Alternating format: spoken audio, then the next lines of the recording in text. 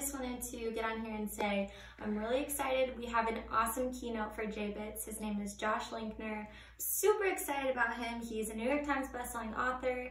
He is a five-time tech entrepreneur, and he is the number one most booked innovation keynote speaker on the planet. So pretty big stuff, and I just want to read a couple testimonials about him.